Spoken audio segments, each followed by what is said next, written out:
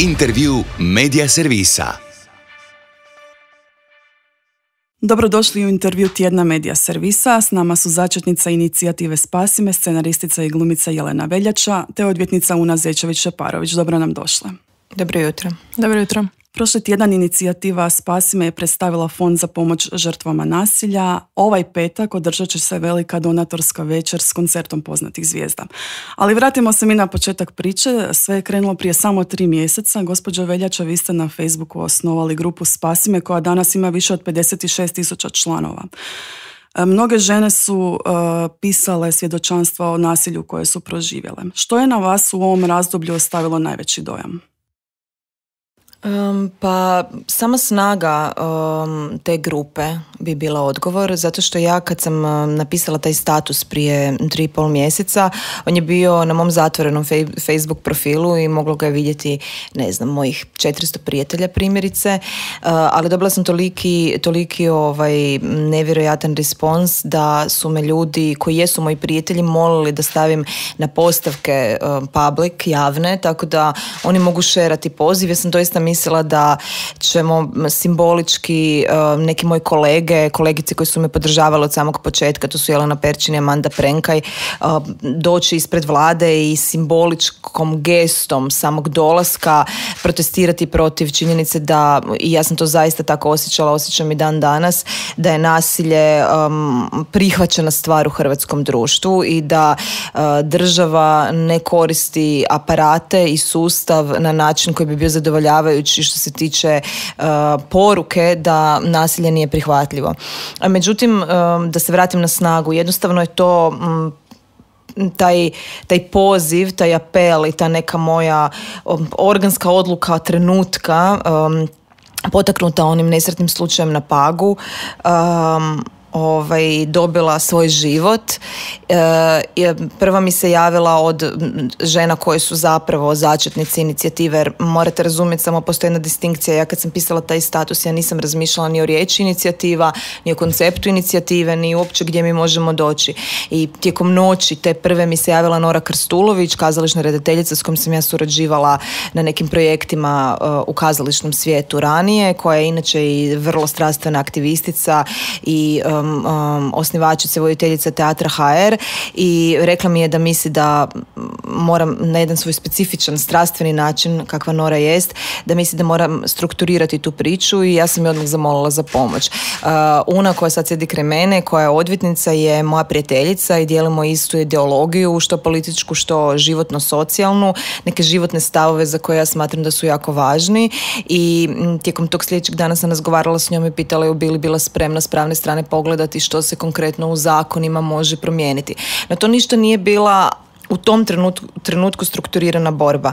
Uh, vrlo brzo su nam se priključile Nerma Mehađić, producentica, um, Ana Pecotić, marketinška stručnjakinja, Mirsada Begović, e, urednica na Al Jazeera, koja je i e, zapravo izmislila e, hashtag Spasime, s kojim danas izlazimo van i koji je prepoznat već kao brand. Um, Anica Tomić, kazališna redateljica i Jelena Kovačić-Solarić, dramaturginja, koje su inicijalno ušle u inicijativu da bi pomogle oko dramaturgije samog prosvjeda. U tom trenutku se taj simbolički, simboličko okupljanje već pretvorilo pretvorilo u riječ prosvjed i mi smo postali svjesni da se više nećemo moći zapravo snaći na Markovom trgu jer nas je previše.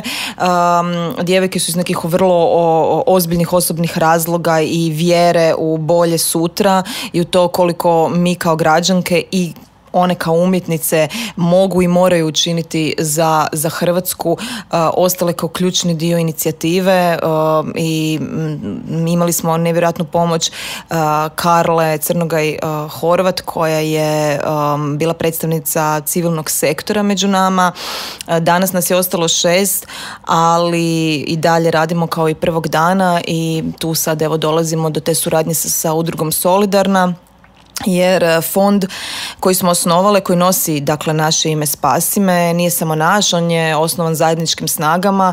E, solidarna nam je u tom smislu ustupila i svoj know-how jer mi smo građanska inicijativa, nemamo e, neku ni strukturu, ni pravne resurse, a mislim niti to možemo na taj način fundraisati novac, ali su i oni ideološki iza toga, dakle nisu samo tehnička potpora, tako da bih ja rekla da je to zajednički fond. Zašto fond? Um, kad smo već tražili uh, vladu da ispuni naše zahtjeve. Zato što nam se čini da je um, promjena spora, da je sustav spor, iako postoji politička volja i da uh, u tom nekom međuprostoru u kojem mi zaista vjerujemo da je samo međuprostor, uh, postoje žrtve i postoji nasilje i kojim, da se njima treba pomoći. Mi ovo zamišljamo kao neki u idealnom svijetu most između ovog trenutka kad je stvarno kritična faza društva što se nasilja tiče i onog trenutka koji se mi nadamo što prije doživiti kad će i država svojim represivnim mjerama koje samo ona ima doista slati konstantnu i um, je, je ne, nezaustavljivu poruku da je da nasilje nije prihvatljivo i kada će se sve žrtve osjećati slobodno. Još ćemo malo kasnije pričati o samom fondu, ali vratimo se možda na ove priče žrtava. U grupi Spasime mnogo je kritika na sustav, pogotovo na sustav socijalne skrbi. S druge strane, socijalni radnici se bune da su postali meta za ostrel, da se sva krivnja svaljuje na njih. Koja je, gospođo Zečević-Parović, po vama najslabija karika u sustavu zaštite žrtava? Pa ima ih zapravo mnogo uh, jer evidentno je da žrtve nisu zaštićene na način uh, kako je to propisano pozitivnim zakonskim rješenjima u Republici Hrvatskoj. Uh, Centar za socijalnu skrb jest jedna od tih karika. Definitivno ljudi nam se zapravo u grupi žale na to da tamo ne nailaze kao prvo na razumijevanje, ne nailaze na informacije koje su djelatnici centra dužni dati po zakonu, protokolu, Istanbulskoj konvenciji na posljedku.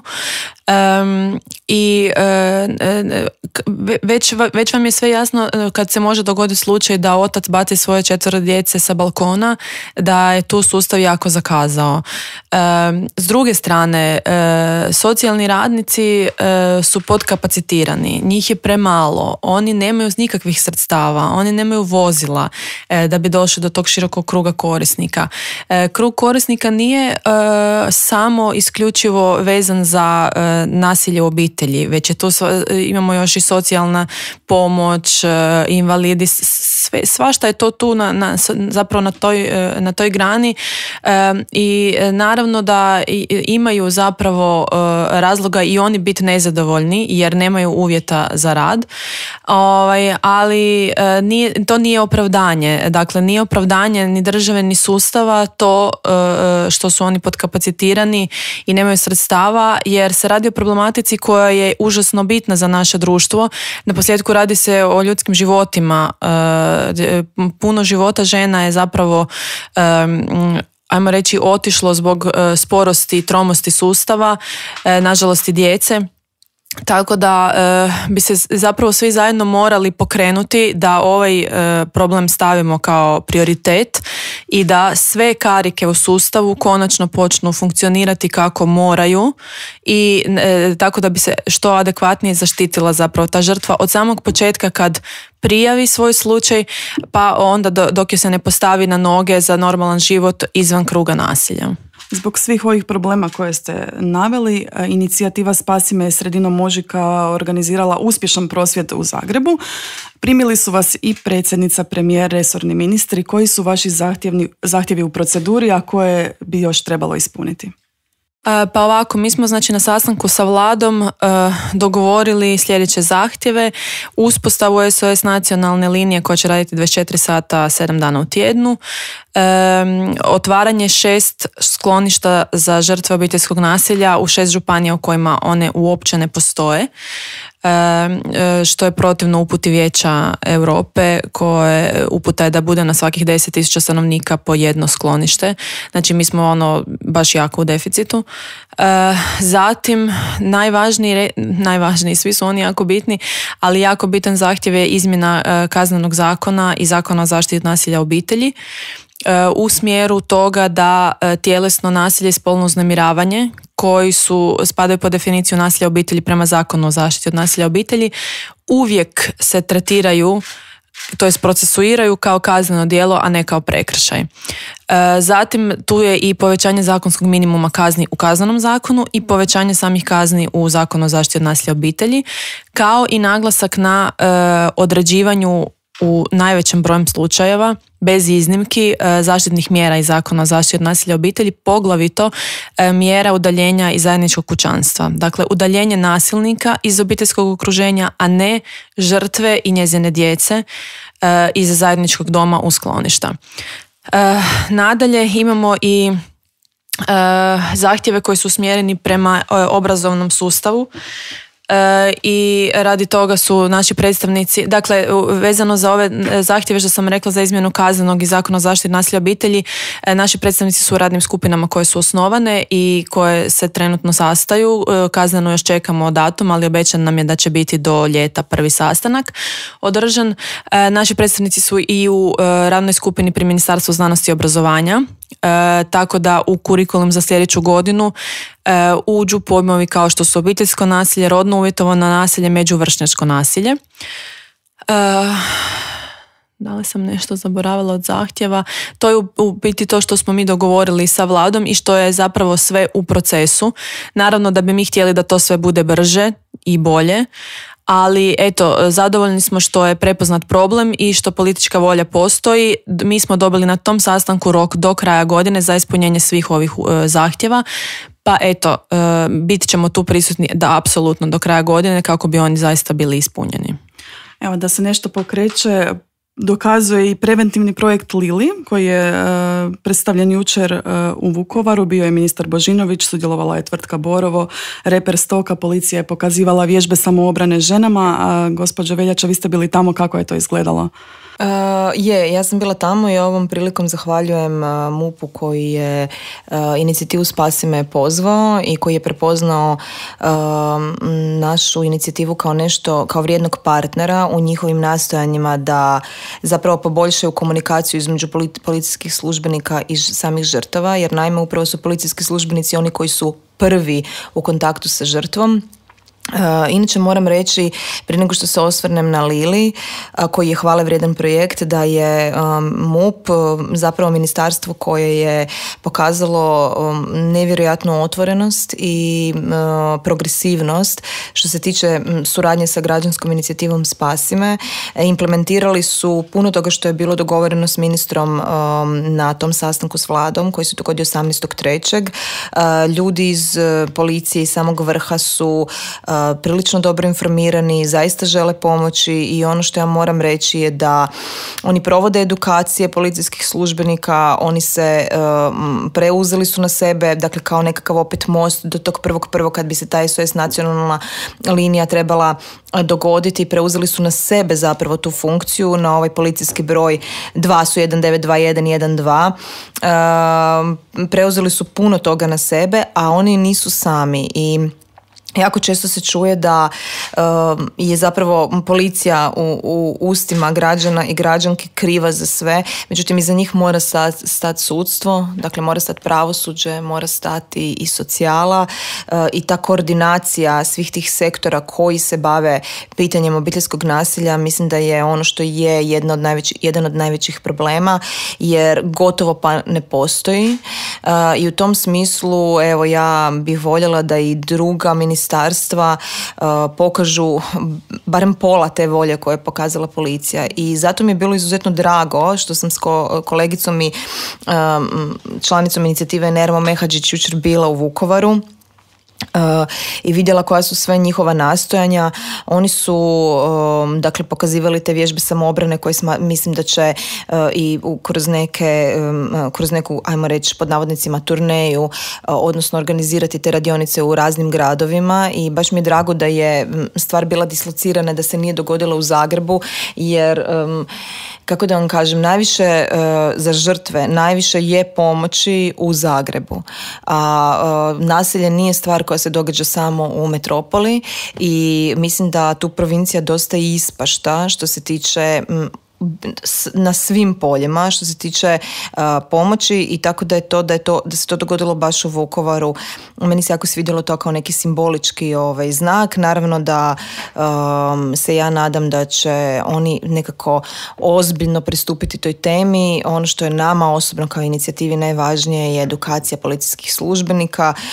Zašto? Zato što ono što smo mi prepoznali kroz ovih tri mjeseca čitanja komentara i priča na grupi Spasime koja fenomenološki stvarno ima jednu poseb, jedan poseban značaj jer je to postalo sigurno mjesto za žrtve nasilja i one koje su rehabilitirane, ali sada imaju potrebu javiti da bi inspirirali druge svojim pričama i da bi ih osnažili.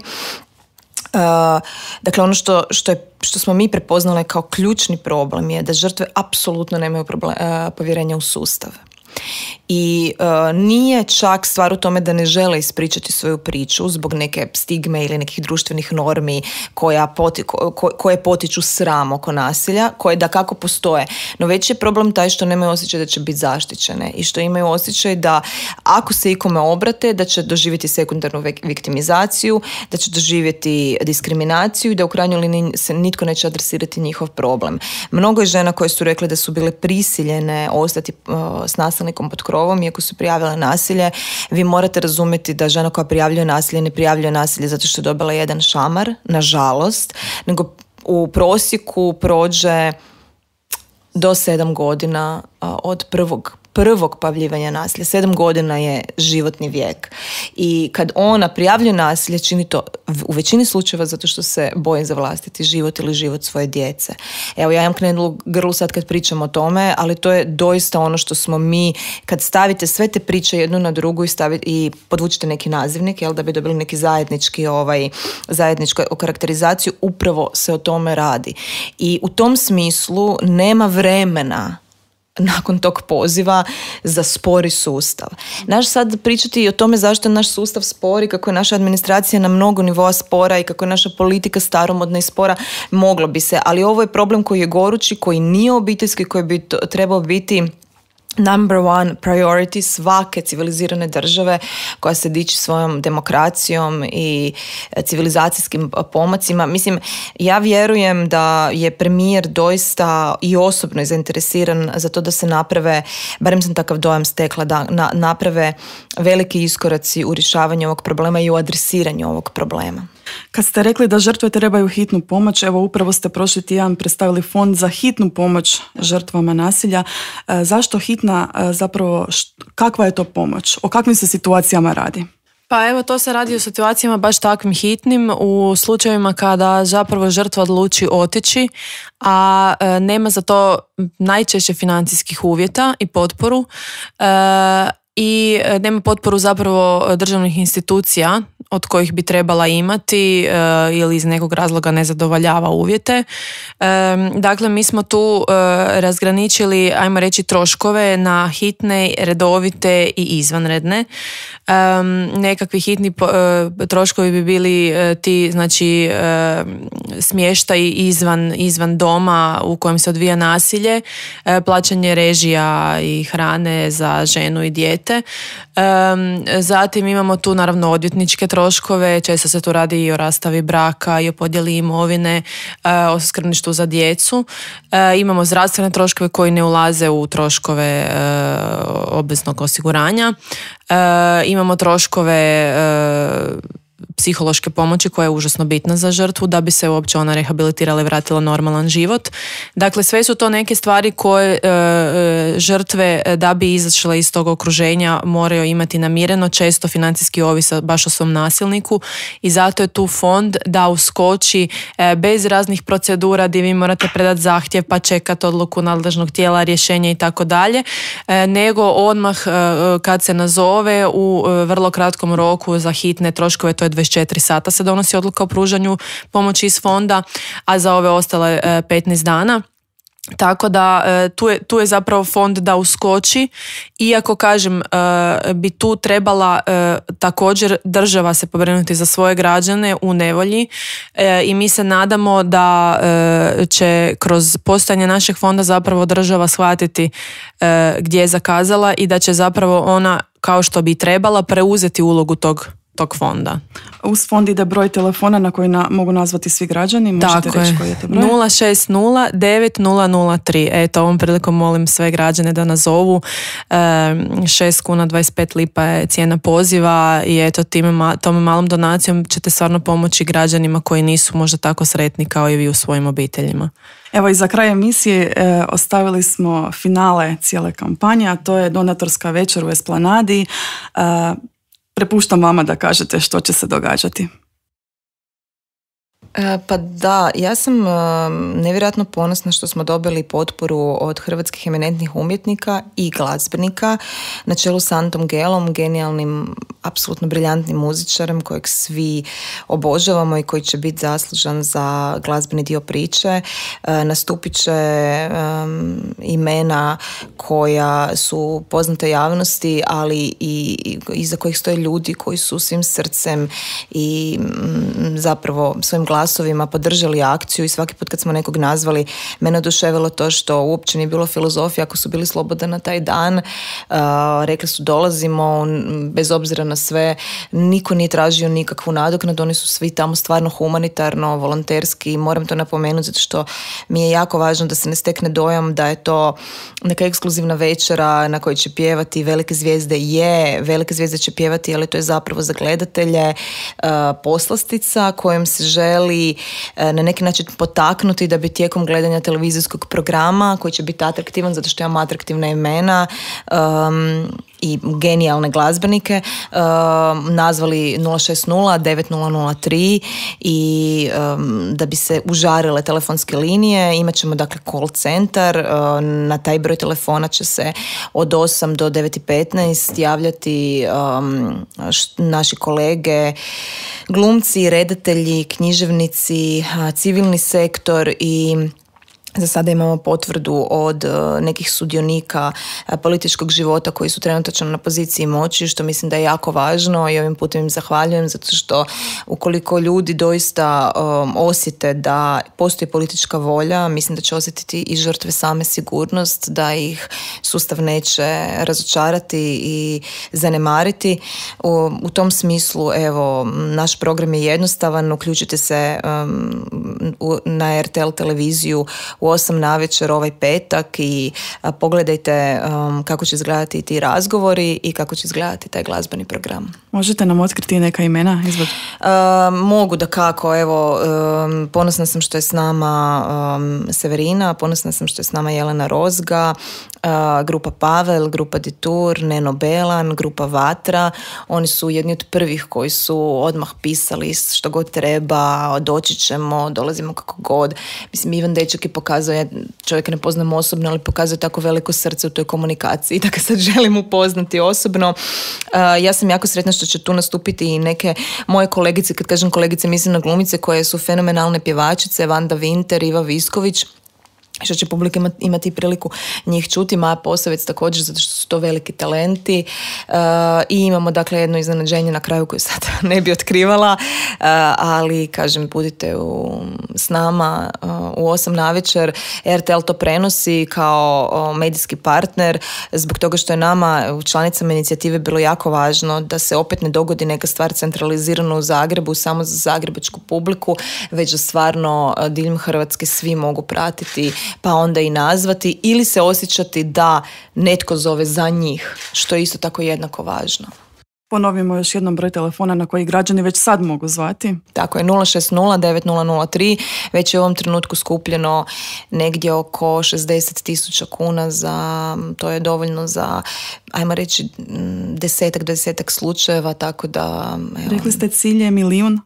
Cilj je milijun, nadam se da će, mislim to je neki simboličan cilj, uh, lijepo zvuči i mm, nadam se da ćemo doći do toga da možemo to komunicirati medijski na taj način, no međutim svaka žena kojoj pomognemo je za nas veliki uspjeh. Mi smo e, šest žena koje imamo neke svoje živote, karijere koje su potpuno dakle, izvan politike i izvan zapravo čak i e, civilnog sektora, tako da evo mm, sve što smo napravile do sada mislim da je već priličan uspjeh.